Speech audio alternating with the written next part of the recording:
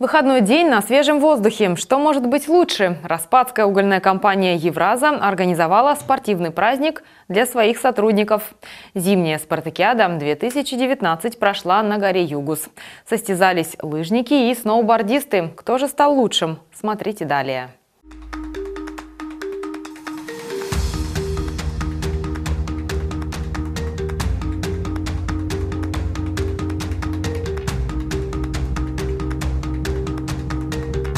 На горе Югус собрались около 400 работников Распадской угольной компании «Евраза» вместе с семьями, спортсмены и любители активного отдыха. Повод – зимняя спартакиада, которая проходит в Междуреченске в четвертый раз. Пусть сильнейший здесь сегодня победит.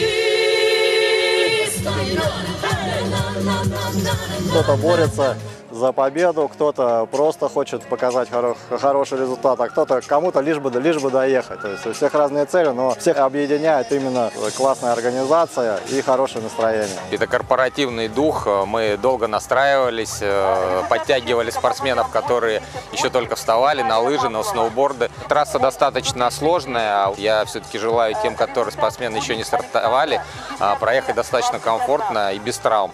Ну а те, которые финишировали, уже расслабляются и наслаждаются теми видами, которые у нас сегодня есть. Показать результат на склоне Югуса значит пройти отбор. Лучшие горнолыжники и сноубордисты Распадской угольной компании в конце марта примут участие в главных корпоративных соревнованиях Евраза в Таштаголе на горе Туманная. Успехи, они, э, конечно же, закладываются и на тренировках, и на спартакиадах. На прошлогоднем э, корпоративном турнире на призы Андрея Севенюка Команда Распадской угольной компании заняла первое место. Пока на трассе идет борьба за призовые места, на сцене выступают специально приглашенные артисты. Дети угольщиков ставят свои рекорды на скорость и ловкость.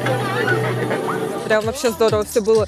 И трасса хорошая сегодня, столько людей знакомых. Ну здорово. В общем, Второе место мое. Я довольна.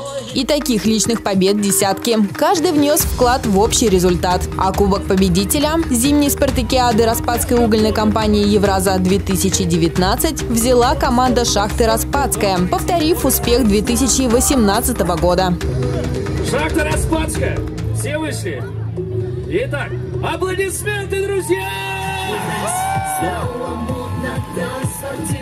Наша команда очень сильная, поэтому даже никаких сомнений не было, что Шахта Распадская займет первое место. Ощущение радости, ощущение уверенности э, в нашем коллективе, что мы не только умеем добывать уголь сегодня, да, но и можем завоевывать призы вот на таких вот спортивных соревнованиях. Екатерина Борисова, Андрей Блохин. Новости «Мой Междуреченск».